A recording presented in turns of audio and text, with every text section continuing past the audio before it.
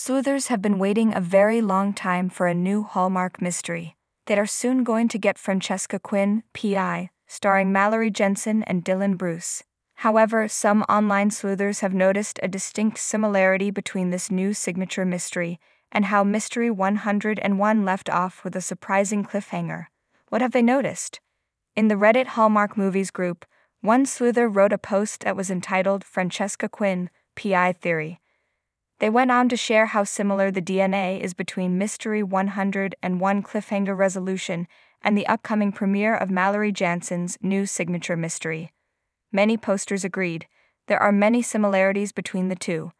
Moreover, there is concern that perhaps the Mystery 101 number 8 would be scrapped for this new series. What did the Reddit poster mean? Let's break this down. First, this Reddit poster noted that looking at John Christian Plummer's IMDb, they saw that the Mystery 101 screenwriter also wrote the screenplay for Francesca Quinn, P.I. It should also be noted that Plummer also co wrote the teleplay with Erin Dobson for Dying for Chocolate, a curious caterer mystery. This script was based on the Diane Mott Davidson novel and premiered last April. Andrew W. Walker and Nikki DeLoach starred in this new signature mystery. Moreover, there is nothing similar about this storyline to Mystery 101 or Francesca Quinn, P.I. Next, they mentioned the Kristoffer Polaha Hallmarkies podcast interview about the cliffhanger. This was conducted last December.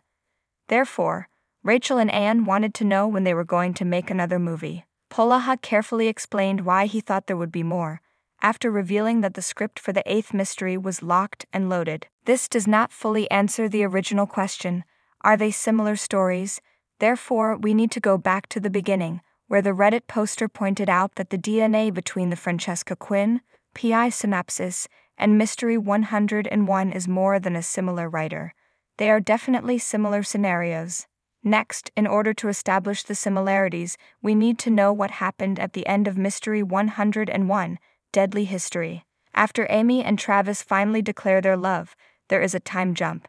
Now it is 11 months later. Travis arrives at a crime scene. He sees Amy is there. Travis then asks his partner, Maria, why Amy is there.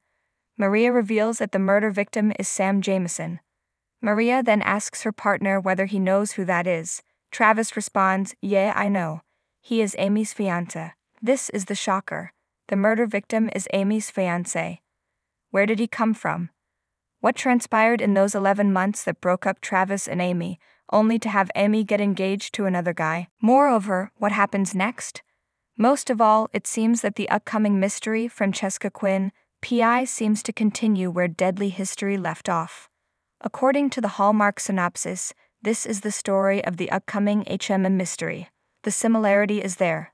Both Jill and Frankie are brilliant women and both of them have had a fiancé that was murdered.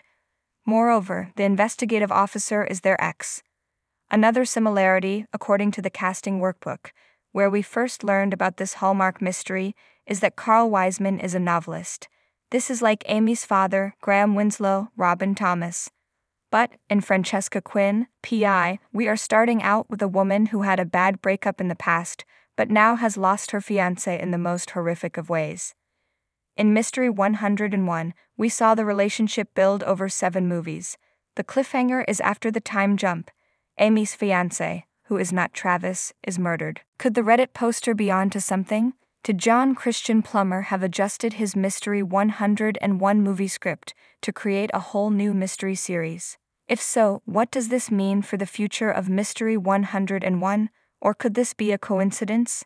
Currently, neither Hallmark nor John Christian Plummer has indicated any such reworking. However, slithers may start asking more questions. Maybe someone will explain. It is very possible that John Christian Plummer had two different paths for Amy and Travis and decided to explore the other one. Moreover, Kristoffer Polaha did indicate at Christmas Con that the executives at Hallmark Media are interested in doing another Mystery 101. Slithers, do you see a similar DNA between the two Hallmark mystery stories? Have you noticed the similarities? Are you concerned about Mystery 101 now that we have these new developments? Thanks for watching this videos. Please subscribe our channel, Hallmark Gossip, for more update news.